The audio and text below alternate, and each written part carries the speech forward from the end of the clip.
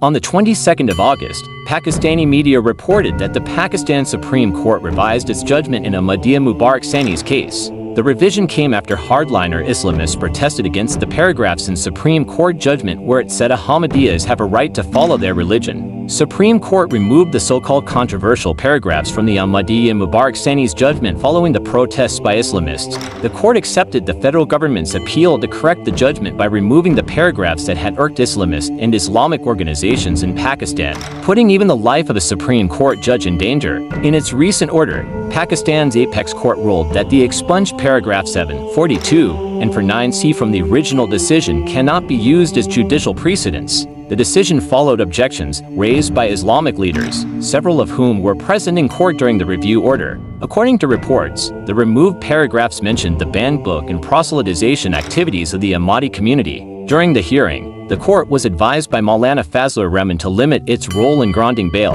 In its order, the court stated that the federal government had sought a review of the previous judgment considering the recommendations from the Council of Islamic Ideology Chi. Notably, following the judgment, riots erupted in Pakistan, and Islamists had barged into the Supreme Court judge's house. Earlier, the Apex Court had sought assistance from religious leaders, including Mufti Taqi Usmani and Maulana Fazlur Rehman. On the matter, the three-judge bench led by Chief Justice Qazi Faez Isa, asked them to identify errors in the judgment. The Islamic leaders suggested that the court either revise the decision or annul it completely. Mufti Taqi Usmani, who resides in Turkey, recommended the removal of paragraph 7 and 42, citing concerns over the interpretation of proselytization. The federal government, through the Attorney General, informed the court that Parliament and religious leaders had urged the government to request the apex court's intervention in the matter as a second. D review was not feasible under civil procedure. Chief Justice Isa said, I pray after every namaz that no wrong decisions are made, highlighting the importance of judicial integrity.